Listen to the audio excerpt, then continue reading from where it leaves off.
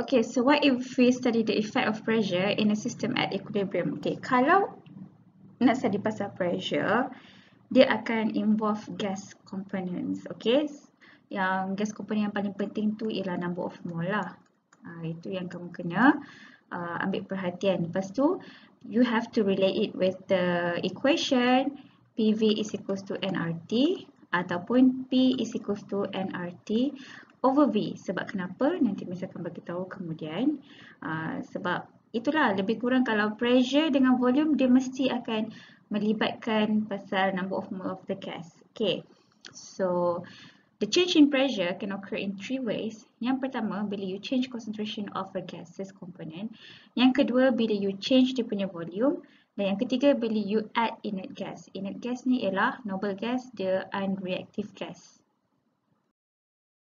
Okay, I would like to discuss about the volume factor yang melibatkan pressure. Okay, so in this case, I would like you to remember balik the equation PV is equals to nRT di mana kalau let's say you make one of the pressure ataupun volume as a subject going to be uh, P is equals to nRT over V.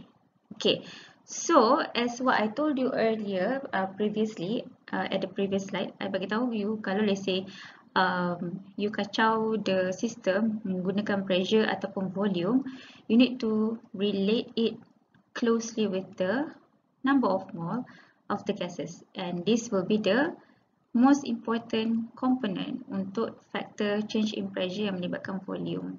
Okay? Ataupun pressure you kena tengok dekat number of mole of the gas untuk tahu direction shift to the left ataupun shift to the right so for example if let's say i have this kind of chemical system So what if I disturb dia punya equilibrium by decreasing the volume. So bila I decrease the volume, okay, kita refer balik dekat this whole equation. So bila I decrease the volume, I decrease the volume, pressure akan increase. How can you know?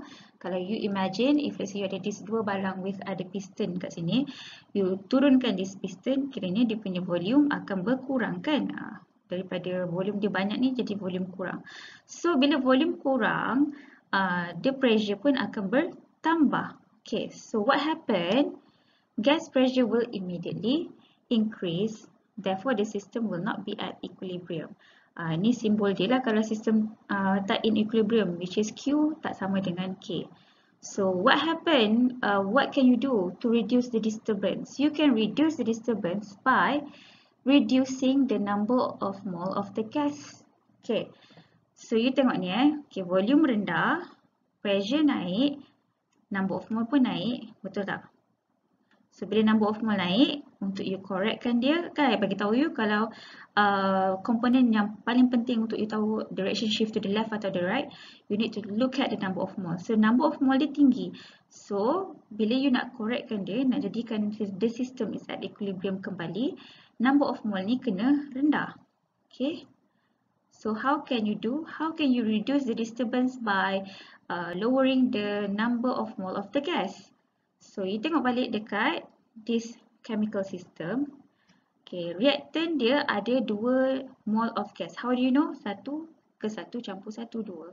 Okay, so untuk produk dia ada satu number of mole, satu mole lah, satu mole of gas.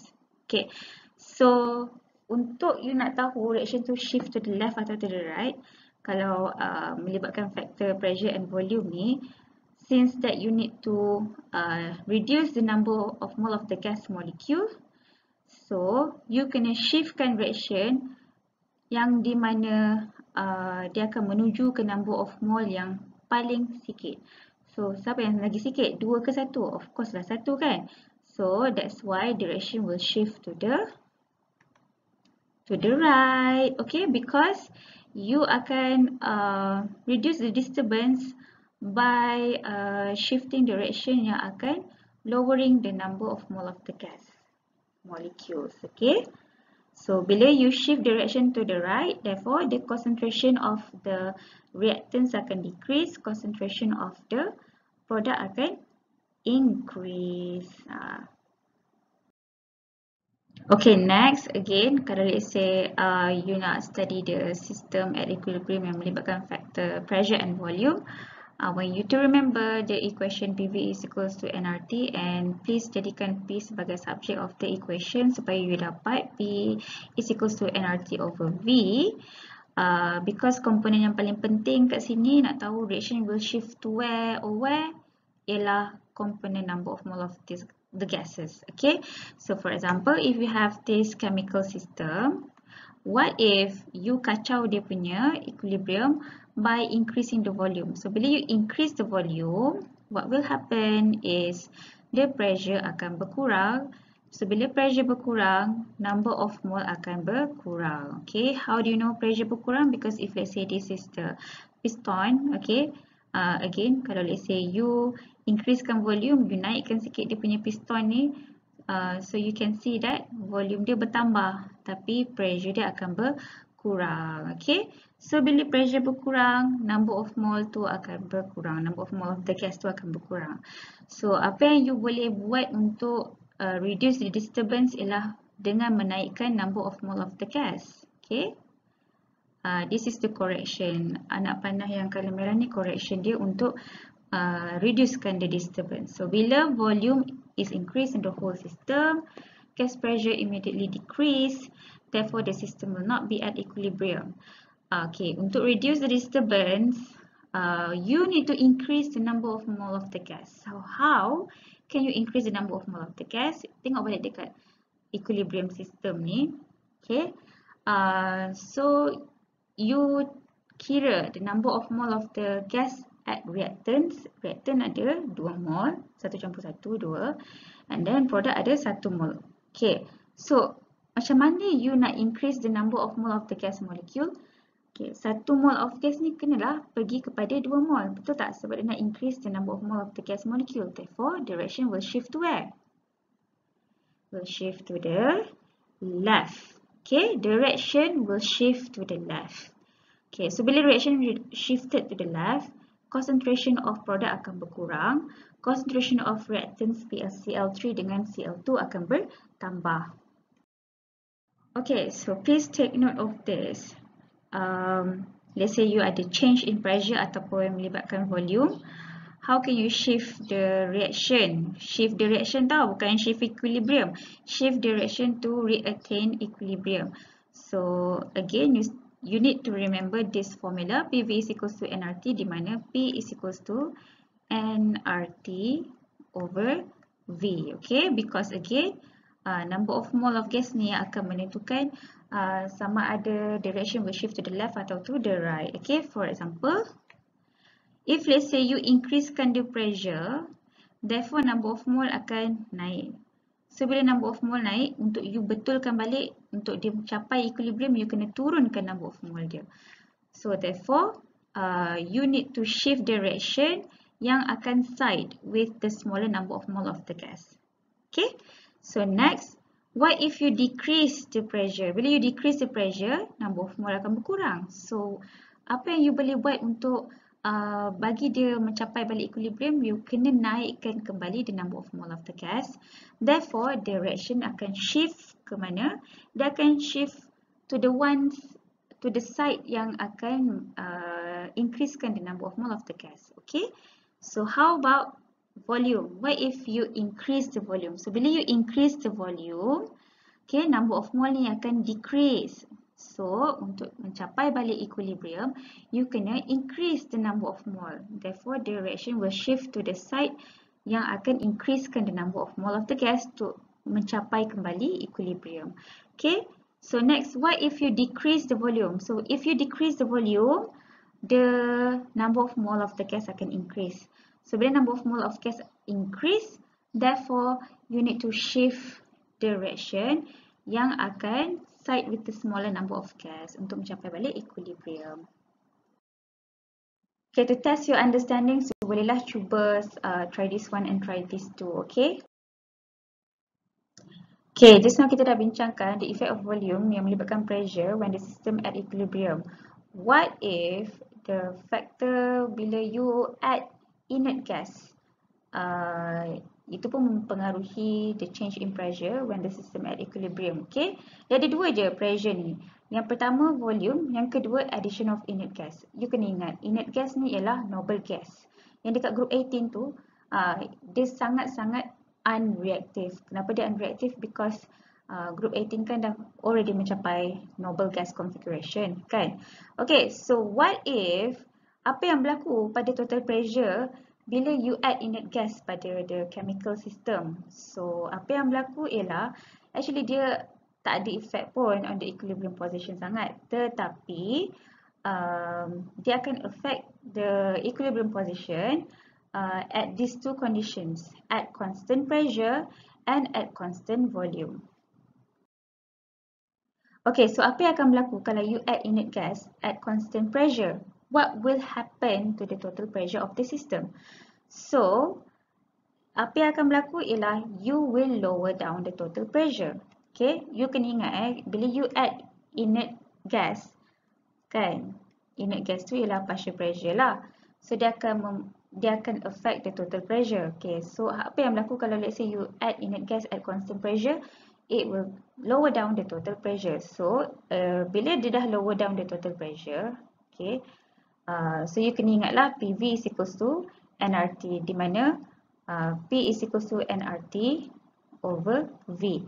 So kalau let's say you add inert gas at constant pressure, it will make the total pressure turun. So bila total pressure turun, number of mole pun akan lowered.